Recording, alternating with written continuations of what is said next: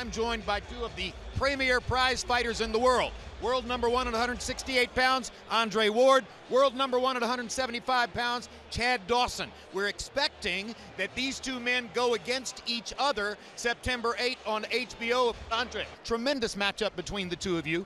Uh, your advantage is that he has to come down seven pounds in weight.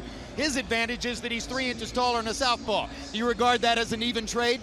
It's an even trade. I mean, Chad was the one that said he can make 68 with no problem.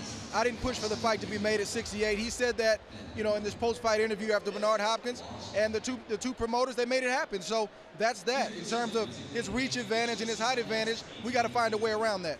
And it doesn't bother you that your title is the one that's on the line, and he's got little to lose in the sense that if he wins, he's still the light heavy, or if he loses, he's still the light heavyweight champ. Well, his titles aren't on the line, but at the end of the day, there's a lot on the line for both of us, and you know, I need to win this fight, and that's what it boils down to. All right, Chad, I'll ask you the same question I asked Andre. Again, his advantage is that you have to come down seven pounds. Your advantage is you're three inches taller than a southpaw. Even trade? Yeah, definitely even trade. Um, I'm looking forward to the fight. You know, the fight got done, everything got done so so great and quickly that you know can't complain. You know, I'm going down to 168 to meet him, fight him for his titles. I think it's a great great look for the sport for both of us to be facing each other at this point in our careers.